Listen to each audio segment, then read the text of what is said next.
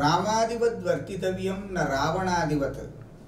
మనిషి ఎలా నడుచుకోవాలి ఎలా నడుచుకోకూడదు అనే విషయం గురించి మన పెద్దలందరూ కూడా వాళ్ళు ఏ దైవాన్ని ఆరాధించినా అంటే దైవం యొక్క ఏ రూపాన్ని వారు ఆరాధించినా దైవం యొక్క ఏ నామాన్ని వాళ్ళు కీర్తించినా మానవుడు ఎలా ఉండాలి ఎలా ఉండకూడదు అని చెప్పడానికి వచ్చినప్పుడు మాత్రం రాముడిలా ఆచరించాలి రావణుడిలా ఆచరించకూడదు అని మనందరికీ కూడా ఉపదేశం చేశారు. రాముడి యొక్క ఆచరణ ఎంత గొప్పది అంటే ఎలా ఆచరించాలో ఏం ఆచరించాలో అలా ఆచరించినటువంటి వాడు రాముడు. సాక్షాత్ భగవంతుడే మానవుణ్ణి ఎలా నడుచుకోవాలో ఆచరించి చూపి మనని మంచి మార్గంలో నడిపేందుకు వచ్చినటువంటి గొప్ప అవతారం రామావతారం. ఆ రామావతారం యొక్క కథ పేరు రామాయణం. రామాయణాన్ని మొట్టమొదట సంస్కృతంలో వాల్మీకి మహర్షి రచించాడు. అందులో ఇరవై నాలుగు వేల శ్లోకాలు ఉన్నాయి రామాయణాన్ని కాండ కాండ అనే పేరుతో ఏడు భాగాలుగా విభజించడం జరిగింది. అయితే ఆ మొత్తం రామకథ అంతా కూడా సంక్షిప్తంగా అంటే క్లుప్తంగా అంటే తేలికగా తక్కువ పరిమాణంలో మనం రోజు రామకథ అంతా కూడా మననం చేసుకునేందుకు వీలుగా నామరామాయణం. ఒక నామ సంకీర్తన లాగా రామాయణంలో ఉన్న విషయమంతా రామాయణం అంతా పారాయణ చేసినట్టుగా ఒక నామరామాయణాన్ని మనకి పెద్దలు ఏర్పాటు చేశారు. చాలా అద్భుతమైనటువంటిది. అయితే వాల్మీకి మహర్షి తర్వాత మనకి ప్రపంచంలో ముఖ్యంగా ఆసియా ఖండం అంతటా కూడా రామాయణాలు ఉన్నాయి. అన్ని చోట్ల రామకథ ఉంది. రామకథ లేని చోటు లేదు ప్రపంచంలో. కేవలం భారతదేశంలోనే రాముడు రామకథ కాదు. ఎక్కడో థాయిలాండ్లో కంబోడియాలో శ్రీలంకలో నేపాల్లో మరి ఇంకా చైనాలో ఎక్కడ చూస్తే అక్కడ జపాన్లో ఇక్కడ ఉంది రామకథ అక్కడ లేదని లేదు. మొత్తం ఆసియా ఖండం అంతా కూడా రామకథ ఉంది. ఆ రాముడి యొక్క కథ కొన్ని కొన్ని తేడాలతో ఉన్నప్పటికీ కూడా రాముడు ధర్మాత్ముడుగా అన్ని రామాయణాల్లోనూ ఉన్నాడు. అయితే ఈ నామరామాయణంలో వాల్మీకి రామాయణంలో ఉన్నటువంటి విశేషాలే కాకుండా అందులో ఉన్న కథే కాకుండా హిందీ భాషలో చాలా ప్రసిద్ధమైనటువంటి రామకథ తులసీదాసు రచించినటువంటి రామచరిత మానస్ అలాగే విశ్వామిత్ర మహర్షి అధ్యాత్మ రామాయణం అని రాశాడు సంస్కృతంలోనే. అలాగా అధ్యాత్మ రామాయణం రామచరిత మానస్ మొదలైనటువంటి రామాయణాల్లో ఉన్న కథల్లో ఉన్న అంశాలు కూడా ఈ నామరామాయణంలో చోటు చేసుకున్నాయి. అటువంటి ఈ నామరామాయణాన్ని బాలబాలికలందరూ కూడా చక్కగా ఉత్సాహంగా మొత్తం రామాయణాన్ని రోజు గానం చేసేందుకు వీలుగా పొందుపరచడం జరిగింది. ఆ రామాయణాన్ని మనం ఇప్పుడు చక్కగా గానం చేస్తూ మనం దాని యొక్క అర్థాన్ని చెప్పుకుందాం. ఆ అర్థాన్ని మనం భావిస్తూ ఆ రామకథనంతా కూడా భావిస్తూ రామానుగ్రహాన్ని పొందుదాం. అయితే కాండకాండకి చక్కగా విభాగం చేసి ఈ నామరామాయణం జరిగింది. ఈ నామరామాయణంలో ముందుగా బాలకాండ. శుద్ధ బ్రహ్మ పరాత్పర రామ్ కాలాత్మక పరమేశ్వర రామ్ శేషతల్ప సుఖ నిద్రిత రామ్ బ్రహ్మాద్యమర ప్రార్థిత రామ్ చండకిరణ కుల మండన రామ్ శ్రీమద్దశరథ నందన రామ్ కౌసల్యా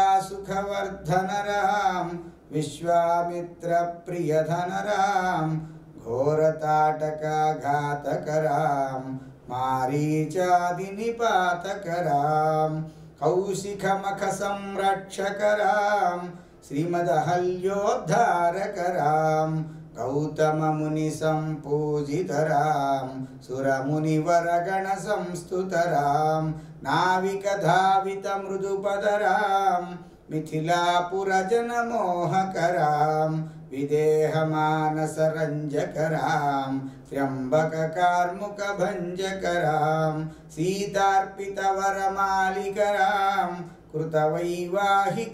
ఘాతక రామ్ భాగవదర్ప వినాశకరాం రామ్ కౌశిఖమఖ సంరక్షక రామ రామ జయ రాజా రామ్ రామ రామ జయ సీతారాం ఈ రామ రామ జయ రామ రాజారాం రామ రామ జయ సీతారాం అనే మకుటంతో ప్రతి కాండకు కూడా మనం గానం చేయడం జరుగుతోంది. ఇప్పుడు బాలకాండ అంతా కూడా మనం గానం చేశాం. ఇందులో అర్థం చక్కగా ఒక్కొక్క వాక్యానికి తెలుసుకుందాం. శుద్ధ బ్రహ్మ పరాత్పర. ఆ రామచంద్రమూర్తి ఎవరు? రామచంద్రమూర్తి ఎవరు? శుద్ధ బ్రహ్మ పరాత్పరుడు ఆయన. శుద్ధ బ్రహ్మ శుద్ధమైన వాడు. అంటే ఏ రకమైనటువంటి కర్మబంధము లేనివాడు. మనమంతా కర్మలో చిక్కుకున్నాం. కర్మ అంటే ఏమిటి? మనం చేసుకున్న మంచి చెడులు. ఈ మంచి చెడుల ద్వారా మనం అనేక రకాల జన్మలు ఎత్తడం సుఖాన్ని దుఃఖాన్ని అనుభవించడం జరుగుతోంది. పరమాత్మకి ఈ బంధాలు ఉండవు ఆ కాబట్టి ఆయన శుద్ధుడు అన్నమాట మనం శుద్ధులంగా లేము. శుద్ధమైన స్వరూపమే అయినా మంది భగవత్ స్వరూపమే అయినా ఈ అశుద్ధంలో కూడా ఈ అశుద్ధం అంటుకుంది మనకి. ఈ అశుద్ధాన్ని ప్రక్షాళన చేసుకోవాలి. కానీ పరమేశ్వరుడు అలాంటి వాడు కాదు. బ్రహ్మ ఆయన. బ్రహ్మం అంటే ఏమిటి? అఖండమైనటువంటి చైతన్య స్వరూపం. అంటే ఏమిటి? దేశకాల వస్తు పరిచ్ఛేదరహితం అంటాం. చాలా పెద్ద మాట ఇది. మనకు అర్థం కావడానికి కొంచెం ఆలోచించదగినటువంటి విషయం. అంటే ఒక చోట ఉంది ఒక చోట లేదు అని కాదు. అన్ని చోట్ల ఉన్నదానికి పేరు బ్రహ్మం. ఒక కాలంలో ఉంది మరొక కాలంలో లేదని కాదు. అన్ని కాలాల్లో ఉండేది బ్రహ్మం. ఒకటి అవును ఒకటి కాదు అని కాదు. అన్నీ దానే అవును. అది బ్రహ్మం. శుద్ధము బ్రహ్మ. పరాత్పర. పరాత్పర అంటే పరం అంటే అధికం. ఏదైనా ఈ ప్రపంచంలో అధికం అధికం అంటామే. దానికన్నా అధికం దానికన్నా అధికం దానికి అంతకు మించి అంతకు మించి అంతకు మించి అంటుంటామే మనం. అన్నింటికన్నా మించింది అన్నమాట అంటే దానికి మించింది భగవంతుడి కన్నా మించింది మరొకటి ఉండదు. అది హద్దు అన్నమాట. పరాత్పరుడు అంటే అధికమైన వాటికన్నా అధికమైన వాడు. అటువంటి వాడు రాముడు అంటే కాలాత్మక పరమేశ్వర రామ్. కాలస్వరూపుడు. ఈ కాలం ఏమిటండి ఆశ్చర్యం? ఇది ఎంత అనాదిగా అంటే ఒక ఆది లేకుండా అలాగ ప్రవాహంలాగా ఉండ ఎప్పుడు నడుస్తూనే ఉంది కాలం. ఈ కాలస్వరూపం ఆ పరమేశ్వరుడు. శేషతల్ప సుఖ నిద్రితరాం ఆదిశేషుడు అనేటువంటి పామును తల్పంగా అంటే శయనం పక్కగా చేసుకుని హాయిగా సుఖంగా నిద్రిస్తూ ఉండేటువంటి స్వామి. అటువంటి స్థితిలో ఉన్నాడు ఒకసారి. అప్పుడు బ్రహ్మాద్యమర ప్రార్థితరాం. బ్రహ్మ మొదలైనటువంటి దేవతలంతా వెళ్ళి ప్రార్థించారు. ప్రార్థిస్తే ఏం చేశాడు ఆయన? చండకిరణ కుల మండన చండకిరణుడు అంటే సూర్యుడు. ఆ సూర్యుడు యొక్క కులం అంటే వంశం. ఆ వంశాన్ని అలంకరించాడంటే ఆ వంశంలో పుట్టాడు. ఎవరికి పుట్టాడు? శ్రీమదయో శ్రీమద్ దశరథ రామ్ దశరథుడికి కుమారుడుగా పుట్టాడు. కౌసల్యా సుఖవర్ధన రామ్ అప్పటిదాకా కౌశల్య సంతానం లేక బాధపడుతూ ఉంది. ఇప్పుడు కౌశల్యకు బిడ్డ కలిగాడు. ఎంతో సుఖం కలిగింది. ఆ సుఖం ఎంతో వృద్ధి చెందింది. ఆవిడికి సుఖం పెం- పెంపొందించాడు. విశ్వామిత్ర ప్రియధన రామ్ అలా కౌశల్యా దశరథులకు కలిగినటువంటి ఆ రామచంద్రమూర్తిని ఒకసారి విశ్వామిత్ర మహర్షి తన యాగ సంరక్షణార్థం తీసుకువెళ్ళాడు ఆయనకు ప్రియధనుడు ప్రియధనం ఇష్టమైన ధనం లాంటి వాడు. ఘోరతాటక ఘాతకరాం మొట్టమొదటి రాముడు ఇన్నింగ్స్ ఎలా మొదలెట్టాడు? తాటకని నేల కూల్చడం ద్వారా మొదలెట్టాడు. తాటక అనే ఒక రాక్షసి యాగాన్ని విశ్వామిత్రుడు చేసే యాగాన్ని ధ్వంసం చేస్తోంది. ఆ యాగానికి చాలా అడ్డంకులు కలిగిస్తోంది. విశ్వామిత్రుడి ఆజ్ఞతో తాటకను మొట్టమొదటిగా ఆయన నేల కూల్చాడు మారీచాది నిపాతకరం అలాగే మారీచి సుబాహులు అనేటువంటి రాక్షసుల్ని కూడా అణిచేశాడన్నమాట. కౌశిక మఖ కౌశిక మఖ సంరక్షకరాం. ఆ విధంగా కౌశికుడు అంటే విశ్వామిత్రుడి యొక్క మఖం యాగాన్ని సంరక్షణం చేశాడు సంరక్షక. శ్రీమదహల్యోద్ధారకరాం. విశ్వామిత్రుడు యాగాన్ని సంరక్షించిన తర్వాత మిథిలా నగరానికి రామలక్ష్మణులను వెంటబెట్టుకుని విశ్వామిత్రుడు తీసుకుని వెళుతూ ఉన్నాడు. దోవలో గౌతమ మహర్షి ఆశ్రమం వచ్చింది. ఆ గౌతమ మహర్షి యొక్క భార్య పేరు అహల్య. ఒకసారి జరగకూడనటువంటి ఒక సంఘటన జరిగినందువల్ల ఆ కోపించి గౌతమ మహర్షి అహల్యను శపించాడు. ఒక ఏ రకమైనటువంటి చైతన్యం లేనటువంటి స్థితిలో ఉండమని అలాంటి ఆ గౌతమ మహర్షి యొక్క భార్య అహల్యను రాముడు తన పాదధూళి ద్వారా అంటే రాముడి పాదధూళి వెళ్ళి ఆ అహల్య పడి ఉన్న చోట అహల్య చైతన్యం లేని విధంగా ఒక బండగా పడున్న చోట బండ బండగా ఉందా చైతన్యం లేకుండా అక్కడ ఉన్నదా అంటే రామాయణంలో అక్కడ రాయి ఉన్నట్టుగా లేదు కానీ ఇతరత్రా ఉన్నది. అందువల్ల ఆ చైతన్యరహితమైన స్థితిలో ఉన్నటువంటి ఆ అహల్యకు అహల్యపై ఆయన పాదధూళి పడినందువల్ల ఆమె ఉద్ధరింపబడి మళ్ళీ ఆమెకి ఆ శాప విమోచనమై ఆమె పతి ఆమె ఎంతో గొప్ప పతివ్రత అనే విషయం తెలియబడి ఆమె ఉద్ధరింపబడింది. ఈ విధంగా ఆ హల్యను ఉద్ధరించినటువంటి రామచంద్రమూర్తే గౌతమముని సంపూజితరాం అప్పుడు గౌతమ మహర్షి తిరిగి వచ్చాడు. అంతకుముందు శపించి ఆయన హిమాలయాలకు తపస్సుకు వెళ్ళిపోయాడు. తిరిగి వచ్చి ఆ గౌతమ మహర్షి ఆ రామచంద్రమూర్తిని చక్కగా పూజించాడు. సురముని వరగణ సంస్థుతరాం అప్పుడు దేవతలు ఋషులు వీళ్ళందరూ కూడా సమూహాలు సమూహాలుగా వచ్చి రామచంద్రమూర్తిని స్థుతించారు నావిక ధావిత మృదు పదరాం. ఆ తర్వాత మిథిలానగరానికి వెళ్ళే దోవలో నదిని దాటవలసి వచ్చింది. గంగా నదిని దాటవలసి వచ్చింది. ఆ నది దాటించేందుకు అక్కడ గుహుడు అనేటువంటి ఒక నావికుడు ఉన్నాడు. ఆయన నావ మీద రామలక్ష్మణులు విశ్వామిత్రుడు ఎక్కాలి. ఎక్కినప్పుడు రామా ముందు నీ కాళ్ళు కడుగుతాను. కడిగిన తర్వాత ఎక్కాలి. ఎందుకంటే నా పడవ కూడా స్త్రీ అయిపోతే నా జీవనం ఏమైపోతుంది?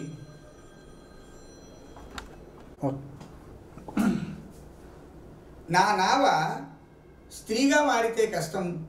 నీ పాదధూళి పడినటువంటి నీ పాదధూళి పడటం వల్ల ఒక అచేతనమైనటువంటి వస్తువు స్త్రీగా మారిందిట. కాబట్టి నీ పాదాలు కడుక్కుని నేను నీ పాదాలు కడుగుతాను. తర్వాత నేను పడవెక్కాలి అని చెప్పి అన్నాడు. సంతోషించి రాముడు చిరునవ్వుతో ఆయన పాదములను కడిగించుకున్నాడు. నావిక ధావిత మృదు పదరాం నావికుడి చేత కడుగబడినటువంటి మెత్తని పాదములు గలవాడు సుకుమారమైనటువంటి పాదములు గలవాడా? అయితే ఈ విషయం తులసీదాస్ రామాయణంలో అధ్యాత్మ రామాయణంలో ఉంది. వాల్మీకి రామాయణంలో లేదు ఈ విషయం. ఇలాగా ప్రసిద్ధమైనటువంటి రామాయణాల్లో ఉన్న వృత్తాంతములన్నింటితో గుదిగుచ్చబడినటువంటిది ఈ రామరామాయణం. మిథిలాపుర జనమోహకరాం. ఆ తర్వాత మిథిలానగరం చేరుకున్నారు రామలక్ష్మణులు. ఆ మిథిలా పట్టణంలో ఉన్నటువంటి ఆ పౌరులందరూ కూడా ఆ రాముడు చూసి వాహ్ ఏమి సౌందర్యం ఏమి సౌందర్యం పుంసాం మోహన రూపాయ. పురుషులకు కూడా ఎంతో మోహాన్ని కలిగిస్తున్నాడు అని చెప్పి ఆ రామ సౌందర్యానికి చాలా ఆశ్చర్యపడ్డారన్నమాట. విదేహమానస రంజకరాం విదేహుడు అంటే జనక మహారాజు సీతమ్మ తల్లి యొక్క తండ్రి అన్నమాట. ఆయన మనస్సుని ఎంతో ఆనందపరిచాడు రామచంద్రమూర్తి. త్ర్యంబక కార్ముక భంజకరాం. త్ర్యంబకుడు అంటే ఈశ్వరుడు శివుడు. ఆ శివుడు యొక్క ధనస్సును భంజించాడు భంజించాడంటే భగ్నం చేశాడన్నమాట. అంటే పందెం అక్కడ శివ శివధనస్సును ఎక్కుపెట్టిన వాడికి నా కుమార్తె సీతనిస్తానని జనక మహారాజు ప్రతిజ్ఞ చేశాడు. అందువల్ల ఆయన అక్కడ ఆ శివధనస్సును ఎక్కుపెట్టాడన్నమాట. ఎక్కుపెట్టగానే అది పెడపెడపెడా విరిగిపోయింది. ఆ తర్వాత సీతార్పిత వరమాలికరాం సీత చేత వరమాల ఆయన కంఠసీమలో అలంకరించబడింది. కృత వైవాహిక కౌతుకరాం ఆ తర్వాత వివాహ కౌతుకం అంటే వివాహ కార్యక్రమం చక్కగా సీతమ్మతో రామచంద్రమూర్తికి పెళ్ళి కార్యక్రమం చక్కగా జరిపించబడింది. భార్గవ దర్ప వినాశకరాం సీతమ్మను వివాహం చేసుకుని తిరిగి అయోధ్య నగరానికి తిరిగి వస్తున్నటువంటి రామచంద్రమూర్తిని పరశురాముడు అడ్డుకున్నాడు. నీవు గనక శక్తిమంతుడవైతే ఆ పాత శివధనస్సును కాదయ్యా ఎక్కుపెట్టేది. ఇదిగో వైష్ణవ ధనస్సు నా దగ్గర ఉంది అంతకన్నా ఇంకా ఎంతో శక్తివంతమైంది. దీన్ని ఎక్కుపెట్టు నీకు చేతనైతే అంటూ పరశురాముడు ఆ రామచంద్రమూర్తి మీదకి వచ్చాడు. చాలా ఆయన క్రోధంతో ఉన్నాడు. అటువంటి పరశురాముడి యొక్క దర్పాన్ని గర్వాన్ని నశింపజేశాడు. శ్రీమద్ అయోధ్యా పాలకరాం. ఆ తర్వాత అయోధ్యకు చేరుకుని అయోధ్యలో సుఖంగా ఉన్నాడు.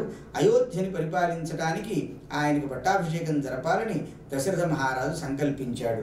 ఇంతవరకు బాలకాండలో కథ. రామ రామ జయ రాజా రామ్ రామ రామ జయ సీతారాం ఆ తర్వాత అయోధ్యాకాండలో కథ మనం చదువుకుంటున్నాం చెప్పుకుంటున్నాం.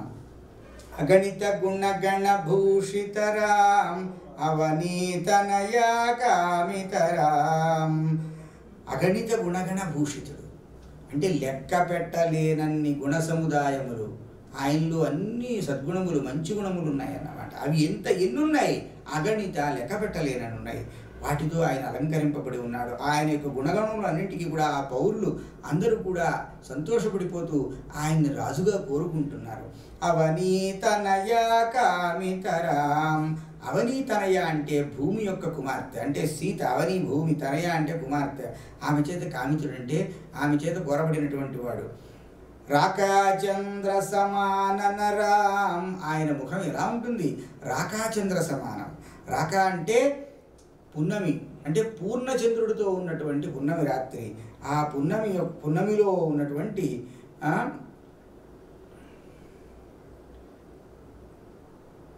సాదృష్టేందు సినీవాలి సానష్టేందు కళా కుహు అని రాక అంటే సినీవాలి కుహు రాక ఇలాగా ఆ పున్నమిలో రకరకాలైన ఒక స్వరూపం ఉంది. అయితే ఇక్కడ రాక అంటే ఏమిటంటే పూర్ణచంద్రుడు దృశ్యమానం చాలా ఎంతో వెలుగుందేటువంటి అంటే పున్నమి నాటి చంద్రుడు అన్నమాట ఆ పున్నమి నాటి చంద్రుడితో సమానమైనటువంటి ముఖం గలవాడు. అంటే చాలా ఎంతో వెలుగుందేటువంటి ముఖం అన్నమాట పితృవాక్యాశ్రితకాననం ఆ సమయంలో పట్టాభిషేకం జరుపాలని సంకల్ సంకల్పించిన దశరథుడే ఆ రామచంద్రమూర్తిని అడవికి వెళ్ళమని ఆజ్ఞాపించాడు. పద్నాలుగు సంవత్సరములు వనవాసం చేయమని అరణ్యవాసం చేయమని ఆజ్ఞాపించాడు. పితృవాక్యం చేత తండ్రి యొక్క మాటల చేత ఆశ్రిత కాననుడు. అంటే కారణం అంటే అడవిని ఆశ్రిత ఆశ్రయించాడు అనమాట అరణ్య అరణ్యవాసానికి వెళ్ళిపోయాడు. ప్రియ గుహ వినివేదిత పదరాం ప్రియ గుహ వినివేదిత పదరాం.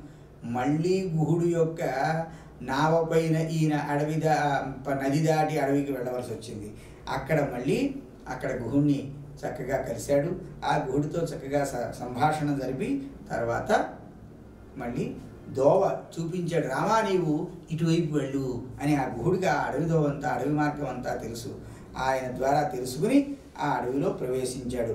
తక్షాళిత నిజ మృదు పదరాం రామచంద్రమూర్తి లోగడ ఒకసారి నీ పాదములు కడిగే అవకాశం నాకు వచ్చింది మళ్ళీ నీ పాదాలు కడుక్కుంటానని చెప్పి ఆ మహానుభావుడు మళ్ళీ ఆయన పాదాలని కడిగాడు. సుకుమారమైనటువంటి రామచంద్రమూర్తి యొక్క పాదములను చక్కగా ప్రక్షాళనం చేసి శిరస్సును దాల్చి ఆ స్వామికి నమస్కరించేటువంటి భాగ్యం పట్టింది ఆ గుహుడికి. భరద్వాజ ముఖానందకరాం ఆ అడవిలో భరద్వాజుడు అనేటువంటి మహర్షి దీర్ఘకాలంగా ఎంతో కాలంగా తపస్సు చేస్తున్నాడు. ఆ తపస్సుకు బలం ఏమిటి? భగవంతుడు సాక్షాత్కరించడమే కదా. రామచంద్రమూర్తి సాక్షాత్ భగవంతుడు. ఆ రామచంద్రమూర్తి ఆయన ఆశ్రమానికి వెళ్ళాడు. ఈ తపస్సు అంతా దేనికోసం చేస్తున్నాను? ఆ తపస్సు ఫలించింది అని ఆ రామచంద్రమూర్తిని యొక్క ముఖాన్ని చూడగానే ఆనందపడిపోయాడు ఆ భరద్వాజ మహర్షి. చిత్రకూటాద్రినికేతనరాం. ఆయనను కోరి ఎక్కడ నివాసయోగ్యమైన స్థలం ఏదో తెలుసుకుని అక్కడ చిత్రకూటం అనేటువంటి ఒక పర్వతం ఉంది. ఆ చిత్రకూట పర్వతాన్ని ఆశ్రయించి ఆ పర్వతం పైన నివాసం ఉండేందుకు అది తగిన చోటని చెప్పి భరద్వాజ మహర్షి చెప్పడం చేత రామచంద్రమూర్తి అక్కడ నివాసం అక్కడ నివసిస్తూ ఉన్నాడు. దశరథ సంతత చింతితరాం కైకేయీ తనయార్తితరాం. రాముడు అడవికి వెళ్ళిపోయిన తర్వాత నిరంతరం దశరథుడు రామా రామ రామ రామ రామ రామ రామ అంటూ మరి ఒక ధ్యాస లేకుండా ఆ రామచింతనే చేస్తూ ఆ దేహాన్ని విడిచిపెట్టాడు. ఆ తర్వాత భరతుడు కైకేయి కుమారుడు వచ్చి ఆ తండ్రికి అంత్యక్రియలు అవన్నీ చేసిన తర్వాత అడవికి వచ్చేసాడు. రామచంద్రమూర్తిని తిరిగి తీసుకువెళదామని చెప్పి వచ్చి కోరాడు రమ్మని ఎంతో ప్రార్థించాడు. విరచిత నిజ పితృ కర్మకరాం ఆ సమయంలో భరతుడి ద్వారా తెలిసింది తండ్రి గతించాడని తండ్రి మరణించాడని. అప్పుడు పితృక్రియలు తండ్రి యొక్క తరింపు కోసం రామచంద్రమూర్తి కుమారుడుగా తన కర్తవ్యమైనటువంటి ఏ విధులైతే ఆచరించాలో ఏ పనులు చేయాలో తల్లిదండ్రులు గతించినప్పుడు మరణించినప్పుడు ఆ పనులన్నీ కూడా రా తండ్రి యొక్క మరణ వార్త విని రామచంద్రమూర్తి వాటినన్నింటినీ నిర్వర్తించాడు. భరతార్పిత నిజ పాదుకరాం. భరతుడు ఎంత వేడినా రామచంద్రమూర్తి తిరిగి అయోధ్యకు వెళ్ళడం తగదు. తండ్రి యొక్క ఆజ్ఞను పరిపాలించవలసి ఉన్నది నేను కాబట్టి అంటే అప్పుడు భరతుడు కోరిన మీదట ఆ రాముడు తన పాదుకల్ని ఆ భరతుడికి ఇవ్వడం జరిగింది. రామ రామ జయ రాజారాం రామ రామ జయ సీతారాం. ఇది అయోధ్యాకాండలో వృత్తాంతం తర్వాత అరణ్యకాండ వృత్తాంతం. రామచంద్రమూర్తి అరణ్యవాసం చేస్తూ ఉన్నప్పుడు జరిగినటువంటి సంఘటనలన్నీ కూడా ఈ కాండలో ఉన్నాయి. దండకావన జన పావన రామ్ దుష్ట విరాధ వినాశన రామ్ దండకావనం అని ఆ వనం పేరు. ఆ దండకావనంలో ఉన్నటువంటి జనులు ఎవరైతే ఉన్నారో వనజనుడు అంటే అడవిలో ఉండేవారు. వారందరినీ పవిత్రం చేశాడు. అక్కడ తన నివాసం ఉండి. అలాగే దుష్ట విరాధ వినాశన రామ్ చెడ్డవాడైనటువంటి విరాధుడనేటువంటి రాక్షసుణ్ణి నశింపజేశాడు. శరభంగ సుతీక్ష్ణ అర్చితరాం అక్కడ శరభంగ మహర్షి సుతీక్ష్ణ మహర్షి అనేటువంటి మహర్షులు ఉన్నారు ఆ మహర్షుల చేత ఆయన చక్కగా అర్చింపబడ్డాడు సేవించబడ్డాడు. అగస్త్యానుగ్రహ వర్ధితరాం అగస్త్యుడు ఎంతో అనుగ్రహించాడు రామచంద్రము. దాంతో వృద్ధి చెందాడు. నువ్వు వర్ధిల్లాలి వర్ధిల్లాలని చెప్పి అగస్య మహర్షి చేత అనుగ్రహాన్ని పొందాడు. గృధ్రాధిప సంసేవితరాం అక్కడ గృధ్రాధిపుడు ఉన్నాడు గద్దల యొక్క అధిపతి గద్దల రాజు. ఆ గ్రద్దల అయిన జటాయువు చేత సేవించబడ్డాడు. పంచవటి తట సుస్థితరాం ఆ దండకారణ్యంలో పంచవటి అనేటువంటి ఒక ప్రదేశం ఉంది. ఆ పంచవటి ప్రాంతంలో చక్కగా ఆయన నివాసం ఏర్పరచుకున్నాడు. శూర్పణకార్తి విధాయకరాం అక్కడికి శూర్పణక అనేటువంటి ఒక రాక్షసి వచ్చి ఆ రామచంద్రమూర్తిని చేపట్ తనను చేపట్టమని కోరింది. అప్పుడు మరి ఆమెకు ముక్కు చెవులు కోయించడం జరిగింది. ఆమె యొక్క ఒక రకమైన తీక్షణమైనటువంటి స్థితి. దూకుడు రామచంద్రమూర్తి నిరాకరించడం చేత ఆమె కోపగించి సీతమ్మను మింగివేద్దామని రావడం జరిగింది. అప్పుడు లక్ష్మణుడికి రామచంద్రమూర్తి సైగ చేయటం వల్ల లక్ష్మణుడు కత్తితో ఆమె యొక్క ముక్కు చెవుల్ని కత్తిరించడం జరిగింది. ఈ విధంగా శూర్పణకు కొంచెం వేదన కలిగించాడు. కరదూషణ ముఖ ఆమె వెళ్ళి ఆమెకు సోదరతుల్యులైనటువంటి కరుడు దూషణుడు మొదలైన రాక్షసులకు చెప్పడం వాళ్ళు వచ్చేసారు రాముడి మీద యుద్ధానికి. వాళ్ళని యుద్ధం చేసి ఆ యుద్ధంలో మట్టు పెట్టాడు రామచంద్రమూర్తి. సీతా ప్రియ హరిణానుగరాం. అంతలో సీత చాలా ఇష్టపడింది. అక్కడ ఒక బంగారు లేడీ కనపడింది ఆవిడికి. ఆ లేడీని తెచ్చిమ్మంది. అప్పుడు ఆ ఆమెకి ఇష్టమైనటువంటి ఆ లేడీ వెనకాల పడ్డాడు రామచంద్రమూర్తి. ఆ లేడీని తెచ్చి సీతకిచ్చి ఆమె మెప్పు పొందాలని. మారీచార్తి కృతాశుగరాం ఈ సందర్భంలో రావణాసురుడు మారువేషంతో వచ్చి మారీచుడిని ఒప్పించి మరి ఒక ఋషి వేషంతో మరి తాపసుడి వేషంతో రా సీతమ్మను ఎత్తుకుపోవడానికి ఒక పథకం పని దానికి మారీచుడిని తోడు రావాల్సిందిగా చెప్పి ఆ మారీచుడిని ఒక మరి వెళ్ళి ఆ అడవిలో మరి ఒక లేడి రూపంలో వెళ్ళి హా సీత హా లక్ష్మణ ఓ లక్ష్మణ సీత అని రాముడి యొక్క గొంతుకతో పిలవమని చెప్పాడు. అప్పుడు లక్ష్మణుడు ఆమెకు కాపలాగా ఉన్నాడు. రాముడు ఒక్కడే వెళ్ళాడు. ఆమె బంగారు లేడి తెచ్చిద్దామని. అప్పుడు లక్ష్మణుడు కూడా పరిగెత్తుకుంటూ మీ అన్నయ్యకి ఏదో ఆపదగా ఉంది వెళ్ళమని చెప్పి ఆవిడ చెప్తుంది. ఎలాగూ లక్ష్మణుడు కూడా దూరం అవుతాడు. ఒంటరిగా ఉన్న సీతని నేను అపహరిస్తాను.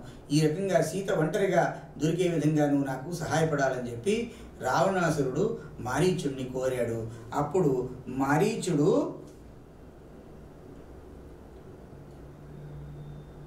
ఆ లేడి వేషం వేసుకుని ఆ విధంగా చేశాడు. లేకపోతే రావణాసురుడు మారీచుడిని సంహరిస్తానని చెప్పాడు. నీ చేతిలో చావడం ఎందుకు? రాముడి చేతిలో చస్తే పుణ్యం అని చెప్పి నేను రాముడి చేతిలో పోతాను అని చెప్పి ఆ విధంగా మారీచుడు చేసినటువంటి ఆ ఇబ్బందికి రాముడు గమనించి బాణం వేస్తాడు ఆ మారీచుడిపై. ఆ మారీచుడు అక్కడతో వాడి కథ అంతమైపోయింది. వినష్ట సీతాన్వేషకరం ఈలోపు సీతను రావణాసురుడు అపహరించాడు. ఎవ్వరూ లేని సమయంలో ఆ కనపడకుండా పోయినటువంటి సీతను అన్వేషించాడు రామచంద్రమూర్తి. గృధ్రాధిపగతిదాయకరాం జటాయువు చూశానయ్యా నేను. రావణాసురుడు ఎత్తుకుపోతుంటే నేను నా సాయశక్తులా కూడా యుద్ధం చేశాను వాడితో. కానీ వాడు ఎత్తుకెళ్ళాడు. ఈ వైపుకు పట్టుకెళ్ళాడు అని చెప్పి ఆ విధంగా మార్గం చూపించింది. జటాయువు ఎటువైపుగా సీతను తీసుకెళ్ళాడో చెప్పింది. శబరి దత్త ఫలాసనరాం ఆ తర్వాత శబరి అనేటువంటి ఒక ఆటవిక స్త్రీ రామభక్తితో గురుభక్తితో ఎంతో మహాయోగిని అయి ఉన్నది. ఆమె యొక్క చేత ఆమె ఇచ్చినటువంటి పళ్ళు తిని ఎంతో సంతోషపడ్డాడు. కబంధ బాహుచ్ఛేదనరాం కబంధుడనేటువంటి రాక్షసుడి యొక్క బాహువులు చాలా ఎంతో పొడవైనవి. ఆ బాహువులతోనే వాడు అందరినీ కూడా తినేస్తూ ఉండేవాడు. ఆ వాడి యొక్క బాహువుల్ని నరికేశారు రామలక్ష్మణులు. ఈ విధంగా అరణ్యకాండలో కథ. రామ రామ జయ రాజారాం. రామ రామ జయ సీతారాం. ఆ తర్వాత కిష్కింధకాండ. ఆ కిష్కింధకాండలో కథ మనం తెలుసుకుంటున్నాం. హనుమత్ సేవిత నిజపదరాం. హనుమంతుడు వచ్చి ఆ రామచంద్రమూర్తి యొక్క పాదాలు పట్టుకుని సేవించాడు. నత సుగ్రీవాభీష్టధరాం. ఆ హనుమంతుడు ఈ రాముణ్ణి తమ వానరరాజు అయినటువంటి సుగ్రీవుడితో కలిపినప్పుడు సుగ్రీవుడు ఎంతో వినయంగా రామచంద్రమూర్తి యొక్క ఆశ్రయాన్ని పొందాడు. అప్పుడు ఆ సుగ్రీవుడికి ఏది అభీష్టము అంటే కో కోరింది ఏదైతే ఉందో కోరిక దాన్ని నేను నీకు సిద్ధింపజేస్తాను అనటమే కాదు సిద్ధింపజేశాడు ఆయన అన్నగారు వాలిని సంహరించి ఆ వాలి యొక్క అదుపులో ఉన్నటువంటి కో వానర రాజ్యాన్ని సుగ్రీవుడికి ఇచ్చి సుగ్రీవుడిని వానరరాజుగా అభిషేకించడం జరిగింది రామచంద్రమూర్తి. ఆ అభిషే అభిషేకింపచేయడం జరిగింది. గర్విత గర్విత వాలి సంహారకరాం వానర దూత ప్రేషకరాం. వారి ఎంతో గర్వించి ఉన్నాడు. నన్నెవరు ఏం చేయలేరు ఈ ప్రపంచంలో. నాకన్నా బలశాలి ఎవరూ లేరని చెప్పి వాలి గర్వంగా ఉంటే ఆ బా వాలిని సంహరించేటప్పటికి వాలికి ఉండేటువంటి గర్వం కూడా పోయింది. లేదా వాలి గర్వాన్ని అణిచిపారేశాడు. ఆ తర్వాత వానరులను దూతలుగా పంపించాడు. అన్ని దిక్కులకి కూడా సీతను వెతకడం కోసం సుగ్రీవుడు రాముడి యొక్క ప్రియమును కోరినవాడి రామాజ్ఞతో సుగ్రీవుడు వానరులందరినీ అన్ని దిక్కులా పంపించాడు. హితకర లక్ష్మణ సంయుతరాం అందరూ వెళ్ళిపోతే ఎవరున్నారు అంటే ఎప్పుడు ఆయనకి మేలు చేసేటువంటి లక్ష్మణుడితో కలిసి ఉన్నాడనమాట కేవలం లక్ష్మణుడు ఆయనకు సహాయకుడుగా ఉన్నాడు. అటువంటి రామచంద్రమూర్తి కిష్కింధాకాండ కథ ఇది. రామ రామ జయ రాజారాం రామ. రామ జయ సీతారాం ఆ తర్వాత సుందరకాండలో కథ. కపివరసం తత సంస్మృతరాం తద్గతి విఘ్నధ్వంసకరాం సీతా ప్రాణాధారకరాం దుష్టదశానన దూషితరాం శిష్ట హనుమద్భూషితరాం సీతావేదిత కాకావనరాం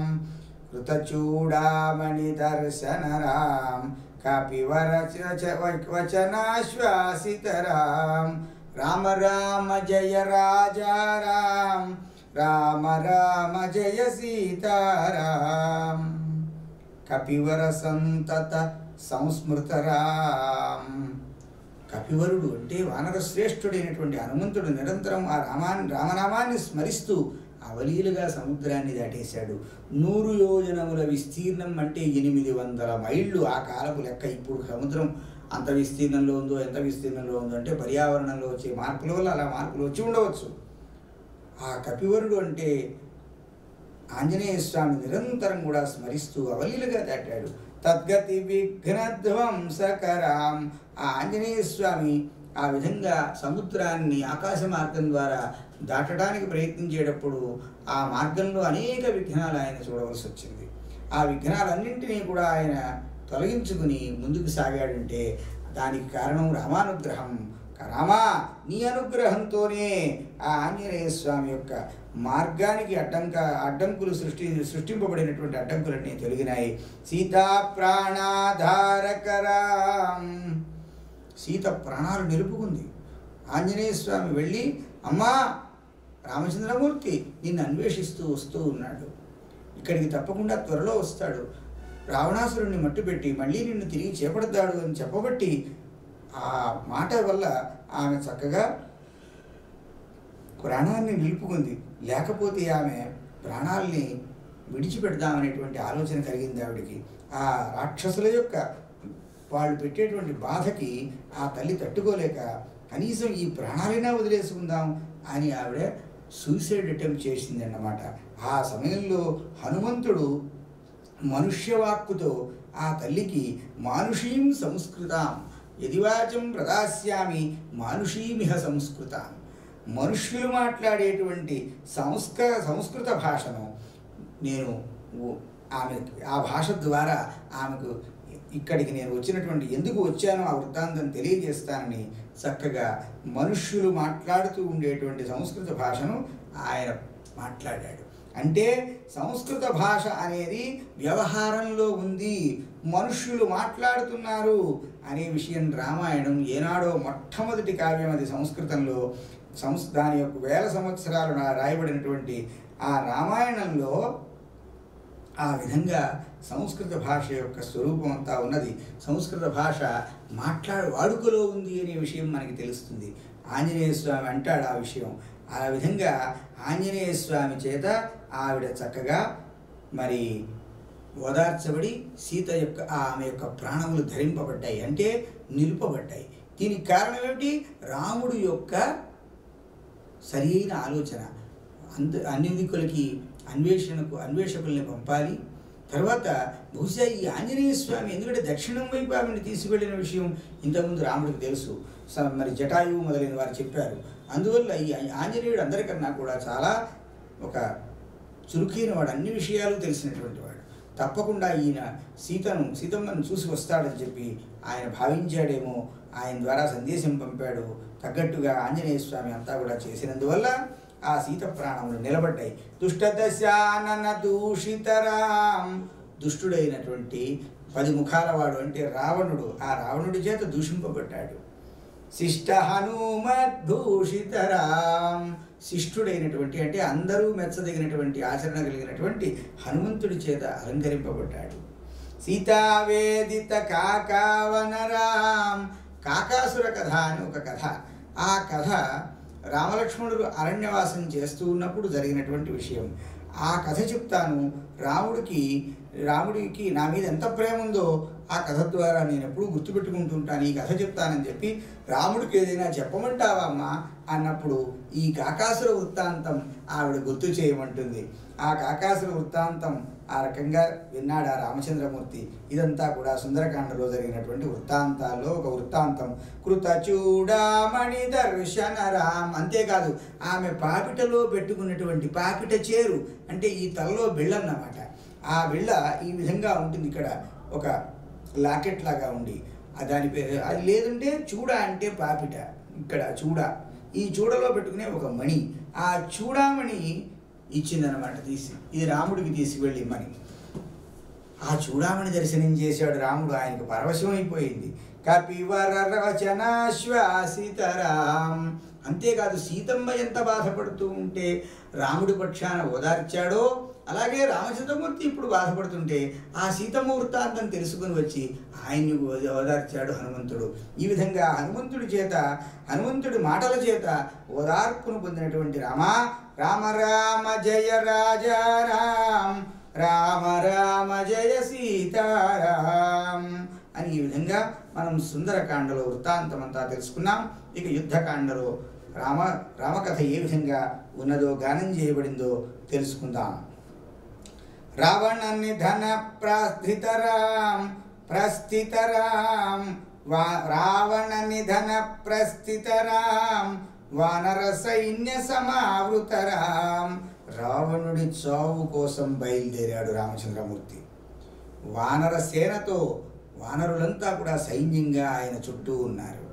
శోషిత శరదీశార్థితరాం. సముద్రాన్ని ఎండింపజేశాడు ఆయన.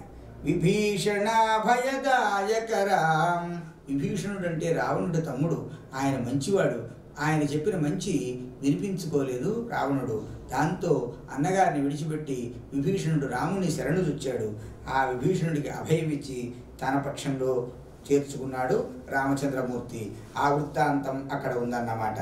పర్వత సేతు నిబంధకరాం కుంభకర్ణ శిరఛేదనరాం కొండలు చెట్లు మొదలైనవన్నీ తీసుకొచ్చి చక్కగా పేర్చి నలుడనేటువంటి ఒక వానర ప్రముఖుడు ఆయన మంచి ఇంజనీర్ అన్నమాట. ఆయన యొక్క మార్గదర్శనంలో ఆ వానరులందరూ కూడా అన్ని రాళ్ళు మొదలైనవి తెచ్చి అక్కడ సమకూరిస్తే ఆయన పేర్చి భారతదేశానికి శ్రీలంకకి మధ్య అంటే రావణాసురుడి రాజధానికి చేరుకునే విధంగా సముద్రం మీద వంతెన నిర్మించడం జరిగింది. ఆ పర్వతాలతో సేతువుని చక్కగా అంటే వంతెనను చక్కగా ఏర్పాటు చేసుకోవడం జరిగింది. కుంభకర్ణ శిరఛేదనరాం ఆ తర్వాత కుంభకర్ణుడు చాలా బలవంతుడు రావణాసురుడి తమ్ముడు. వాడు ఆరు నెలలు నిద్రపోతాడు ఆరు నెలలు మెలకుగా ఉంటాడు. వాడిని నిద్ర మధ్యలో లేపితే ఆరు నెలలు నిద్రపోయే మధ్యలో లేపితే వాడు ఇక వాడు బతకడు. తర్వాత వాడు అనేక రకాలైన వాడు ఎవరు తట్టుకోలేరు కూడా. అటువంటి కుంభకర్ణుడు మధ్యలో నిద్రలేచి వచ్చి అన్నగారి కోరిక మేరకు రాముడి రామచంద్రమూర్తి మీదకి యుద్ధానికి వచ్చాడు. వాడి శిరస్సును కత్తిరించేశాడు రామచంద్రమూర్తి. రాక్షస సంఘ విమర్దకరాం రాక్షస సమూహములన్నింటినీ కూడా మర్దనం చేసేసాడు అహి అహిమహి రావణ చారణ రామ్ అహిమహి రావణ చారణ రామ్ సమృత దశముఖ రావణ రామ్ విధి భ- భవముఖ సుర సంస్తుతరాం మరి ఎన్నో భయంకరమైనటువంటి అస్త్రశస్త్రాలని వేసి రావణాసురుడు చేసిన యుద్ధాన్ని అంతా కూడా మళ్ళీ ఆ యుద్ధ చాతుర్యం అంతా కూడా వ్యర్థం చేసేసాడు ఆ తర్వాత రావణుణ్ణి చక్కగా సంహారం చేశాడు రామచంద్రమూర్తి. ఆ తర్వాత బ్రహ్మ విష్ణు మహేశ్వరులను బ్రహ్మ శివుడు మొదలైనటువంటి ఋషులందరూ వచ్చి ఆయన్ని స్తుతించారు. స్వస్తిత దశరథ వీక్షితరాం అంతేకాదు స్వర్గంలో ఉన్నటువంటి దశరథ మహారాజు కూడా వచ్చి ఆయన్ని చూశాడు. చూసి సీత చాలా పవిత్రమైంది నాయన స్వీకరించమని చెప్పడం జరిగింది. సీతా దర్శనమోదితరాం ఆ తర్వాత సీతను చూసి సీత తిరిగి వచ్చేసింది. రామచంద్రమూర్తి దగ్గరికి ఆమెను చూసి చాలా సంతోషపడ్డాడు. అభిషిక్త విభీష విభీషణ నతరాం తనకు ఎంతో అణకువ ప్రదర్శించినటువంటి విభీషణుణ్ణి రాక్షస రాజ్యానికి రావణ సంహారం అయిన తర్వాత ఆ లంకారాజ్యానికి రాజుగా అభిషేకం చేశాడు అభిషేకం చేయించాడు రామచంద్రమూర్తి. పుష్పకయానారోహణ రామ్ పుష్పక విమానాన్ని ఎక్కి చక్కగా తన పరివారంతో ఈ వానర పరివారంతో ఆ విభీషణుడు సుగ్రీవులు వీరందరితో సీతా సమేతుడై రామచంద్రమూర్తి అయోధ్య బాట పట్టాడు. భరద్వాజాది నిషేవణ రామ్ మార్గంలో అరణ్యానికి వచ్చేటప్పుడు ఏ విధంగా అయితే భరద్వాజ మహర్షి మొదలైనటువంటి మహర్షుల యొక్క ఆశ్రమాలను సందర్శించి వచ్చాడో రామచంద్రమూర్తి మళ్ళీ తిరిగి ప్రయాణం చేస్తూ ఉన్నప్పుడు కూడా ఆ భరద్వాజులు మొదలైనటువంటి ఋషీశ్వరుల చేత సేవింపబడ్డాడు. భరత ప్రాణ ప్రియకర రామ్ భరతుడికి ప్రాణానికంటే ప్రియం రాముడు. అంతేకాదు ఆయనకి ఏది సంతోషం ఉంటే రాముడు తిరిగి రావడం. అది చేశాడు. సాకేతపురి భూషణరాం సాకేత పట్టణం అన్న అయోధ్య అన్న ఒకటే. ఆ సాకేత పట్టణాన్ని భూషింపజేశాడంటే అలంకరించాడు. తిరిగి వచ్చేసాడు స్వస్థలానికి. సకల స్వీయ సమానతరాం. అందరూ కూడా ఆయన తోడుకొని వచ్చారు. రత్నల సత్పీఠాస్థితరాం. రత్నాలతో పొదగబడి ఎంతో ప్రకాశమానంగా ఉన్నటువంటి పీఠం మీద ఆసనం మీద చక్కగా కూర్చున్నాడు. రత్న సింహాసనంపై కూర్చున్నాడు. పట్టాభిషేకాలంకృతరాం. పట్టాభిషేకం జరిగింది అప్పుడు. ఆయనకి రామ పట్టాభిషేకం జరిగింది. ఆ పట్టాభిషేకంతో అలంకరింపబడ్డాడు రాముడు. పార్థివ కుల సమ్మానితరాం. రాజసమూహం అందరూ కూడా వచ్చి ఆయన సన్మానించారు. ఆ సందర్భంలో ఆయన కూడా వారందరికీ కానుకలు ఇచ్చాడు. విభీషణార్పిత రంగకరాం విభీషణుడు తన విభీషణుడికి తన తన కౌగిల్లో చేర్చుకున్నాడు రామచంద్రమూర్తి. కీ కీశకులానుగ్రహకరాం అలాగే వానర సైన్యం వానరులందరినీ అనుగ్రహించాడు. సకల జీవ సంరక్షకరాం. సమస్త లోకోద్ధారకరాం. రాజుగా ఏం చేశాడు ఆయన? పరిపాలన ఎలా చేశాడు? సకల జీవ సంరక్షకరాం. జీవులందరినీ అన్ని జీవుల్ని కూడా సంహర సంరక్షించాడు. సమస్త లోకములను ఉద్ధరించాడు. ఇది ఆ రామచంద్రమూర్తి రాజుగా చే చేస్- చేసినటువంటి కార్యక్రమం. రామ రామ జయ రాజా రామ్. రామ రామ జయ సీతారాం ఉత్తరకాండ. ఆగతముని గణ సంస్థుతరాం తర్వాత ముళ్ళంతా కూడా వచ్చి రామచంద్రమూర్తిని పట్టాభిషిక్తుని రాజ్య పరిపాలన చేస్తున్న రామచంద్రమూర్తిని వారందరూ స్థుతించారు విశ్రుత దశ కంఠోద్ధవరాం అప్పుడు రామచంద్రమూర్తి రావణుడి యొక్క చరిత్ర అందరం కూడా విన్నాడు వాళ్ళ ముఖత సీతాలింగన నిరుతరాం సీతను దగ్గరికి చేర్చుకుని ఎంతో ఆనందం పొందుతూ ఉండేవాడు.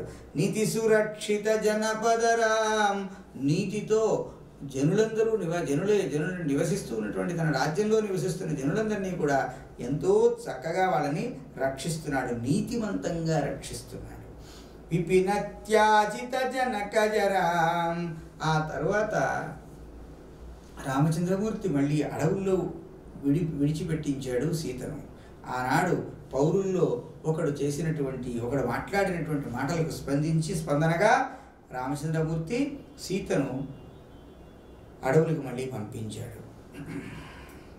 కారిత లవణాసురవధరాం లవణాసురుడు అనేవాడిని సంహరించాడు ఆ తర్వాత. స్వర్గత శంభుక సంస్థుతరాం.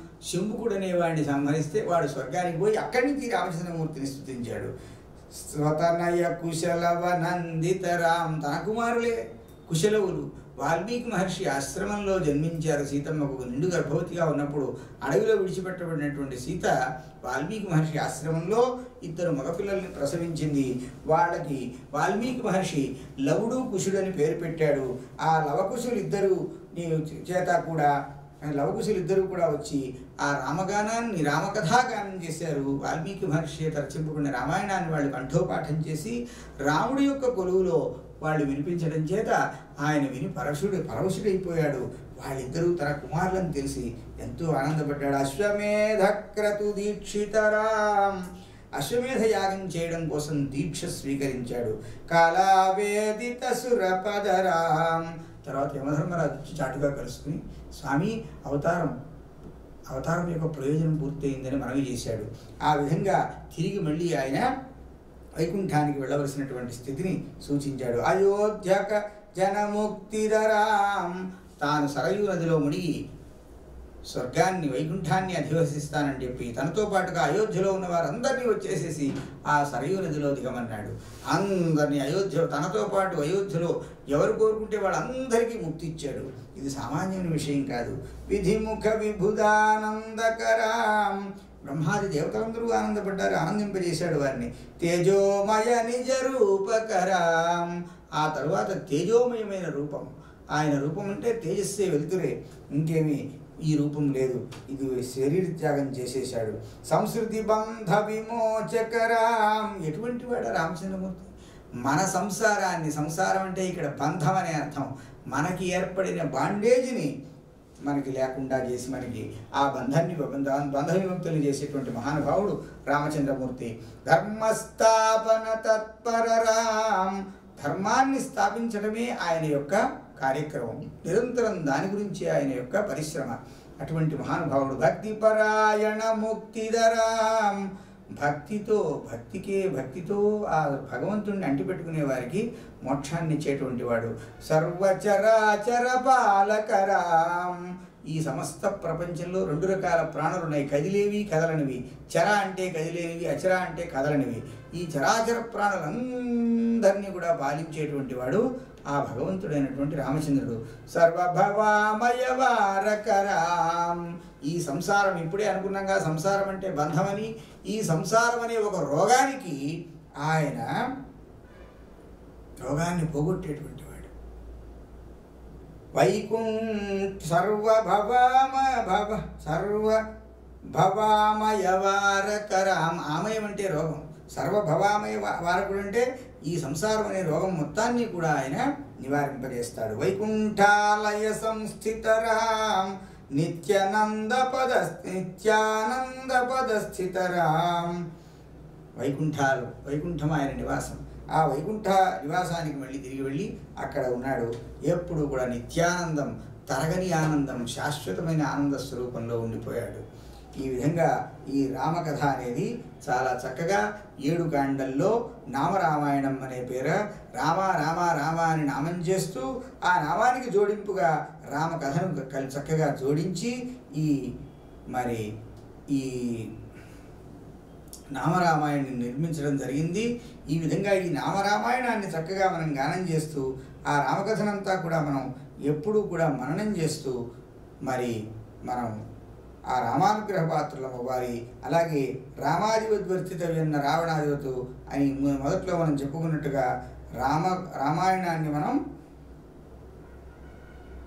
అనుసంధానం చేస్తూ రామకథ వల్ల ఆ రాముడి యొక్క ఆచరణను తెలుసుకుంటూ మనం కూడా ఆ రామచంద్రమూర్తి యొక్క రామచంద్రమూర్తి ఆచరించిన మార్గంలో వెళ్ళి మనం కూడా ధర్మంగా ఉండి ధర్మబద్ధులమై సుఖాన్ని పొందుదాం. ఈ లోకంలో సుఖం ఆ తర్వాత ఈ శరీరం పడిపోయిన తర్వాత కూడా రాబోయే జన్మలు అలాగే ఇంకా స్వర్గాది పుణ్యలోకములను సాధించుకునేటువంటి అవకాశం మనకి రామానుగ్రహం వల్ల కలుగుతుంది. కాబట్టి ఈ నామరామాయణ పారాయణ అనేది చాలా ప్రశస్తమైనటువంటిది.